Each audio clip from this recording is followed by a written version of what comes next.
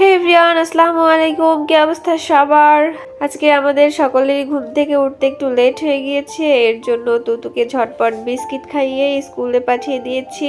এরপর আমি এই যে আলু আর ডিম ভর্তা করেছি, এখন আমি একটু খাওয়া দাওয়া করে নিচ্ছি। আর এর ভেতরই তার বাবা কলিজা নিয়ে এসেছে। আমাদের বাসার নিচেই হচ্ছে গরু জবাই করেছে।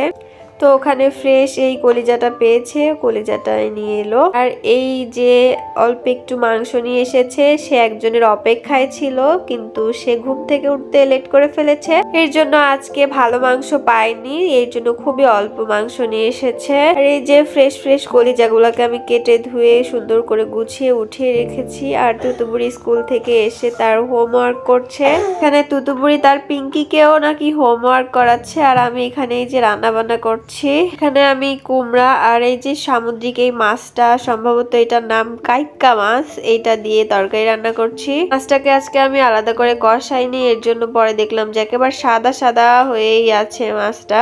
তুতু এসে দেখে গিয়েছে যে আমি শুধু কুমড়ার তরকারি রান্না করছি, গোশটা তখন সে দেখে নাই। এর জন্য সে বাবাকে ফোন দিয়ে নালিশ টালিশ করছে, এরপর এসে দেখছে যে না, আমি মাংস রান্না করছি ওর জন্য।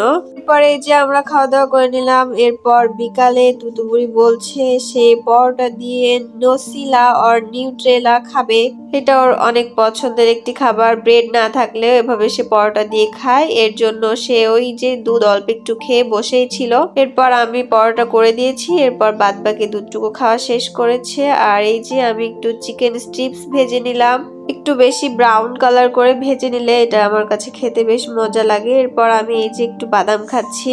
এরপর ওর বাবা এই যে অফিস থেকে আসার সময় ওর পছন্দের সসেস ডিলাইট পিৎজা আর আমার জন্য চিকেন প্যাটিস নিয়ে এসেছে। আজকের ব্লগটা এখানেই শেষ করছি। আল্লাহ হাফেজ।